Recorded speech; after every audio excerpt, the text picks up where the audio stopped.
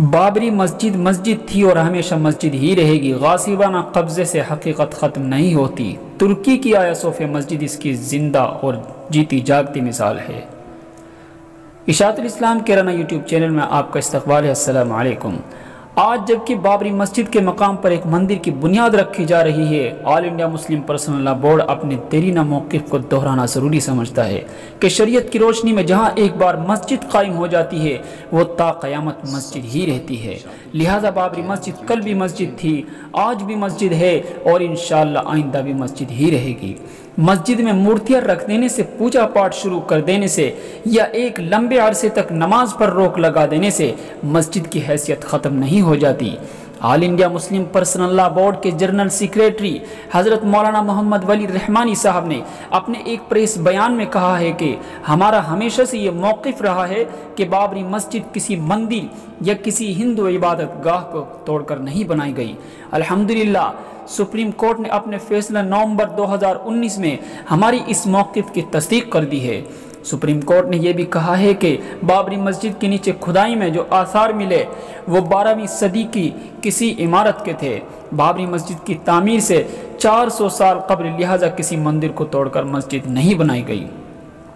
Supreme court ने साफ़ तौर पर कहा है कि बाबरी मस्जिद में 22 दिसंबर सन उन्नीस सौ उनचास की रात तक नमाज़ होती रही है। सुप्रीम कोर्ट का यह भी मानना है कि 22 दिसंबर उन्नीस सौ उनचास में मूर्तियों का रखा जाना एक गैर कानूनी और गैर दस्तूरी अमल था। सुप्रीम कोर्ट ये भी मानता है कि 6 दिसंबर उन्नीस सौ बानवे को बाबरी मस्जिद की शहादत एक गैर कानूनी, गैर दस्तूरी और मुजरिमाना फ़ैल था। अफसोस कि इन तमाम वाज हक़ को तस्लीम करने के बावजूद कोर्ट ने एक इंतहाई, गैर मुनसिफाना फ़ैसला दिया। मस्जिद की ज़मीन उन लोगों के हवाले कर दी जिन्होंने मुजरिमाना तौर पर इसमें मूर्तियाँ रखी और इसकी शहादत के मरतकब हुए। बोर्ड के जनरल सेक्रेटरी ने आगे कहा, चूँकि अदालत उज़मा मुल्क की अला तरीन अदालत है, लिहाजा इसके फैसले को तस्लीम करने के अलावा कोई चारा नहीं है। ताहम हम ये ज़रूर कहेंगे कि एक ालिमाना और गैर मुनसिफाना फ़ैसला है, जो अक्सरियत जाम में दिया गया है। सुप्रीम कोर्ट ने 9 नवंबर उन्नीस 2019 को फैसला ज़रूर दिया है, मगर इंसाफ को शर्मसार किया है। अल्हम्दुलिल्लाह हिंदुस्तानी मुसलमानों के नुमाइंदा इज्तमाही platform All India Muslim Personal Board और दीगर फरीकों ने भी अदालती लड़ाई में कोई दकीका नहीं उठा रखा।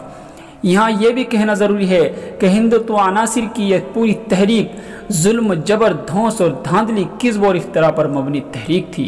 ये सरासर एक सियासी तहरीक थी, जिसका मज़हब या मजहबी तालीमत से कोई ताल्लुक नहीं था। झूठ और जुल्म पर मबनी इमारत कभी भी पायदार नहीं होती।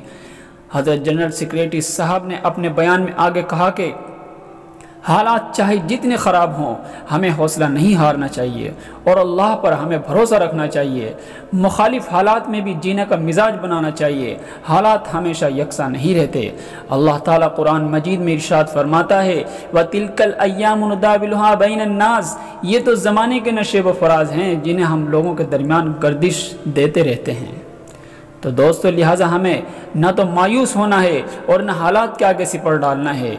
हमारे सामने इस्तांबुल की आया सूफिया मस्जिद की मिसाल इस आयत की मुँह बोलती तस्वीर है। मैं मुसलमाना ने हिंद से अपील करता हूँ कि वो सुप्रीम कोर्ट के फैसले और मस्जिद की ज़मीन पर मंदिर की तामीर से हरगिज़ भी दिल बर्दाश्त न हो। हमें यह भी याद रखना चाहिए, तोहद का आलमी मरकज़ और अल्लाह का घर खाना काबा भी एक लंबे अरसे तक शिर को बुत परस्ती का मरकज़ बना रहा। और बिलाखिर फ़तेह मक्के के बाद प्यारे नबी सल्लल्लाहु अलैहि वसल्लम के ज़रिए दोबारा मरकज़ तोहद बना।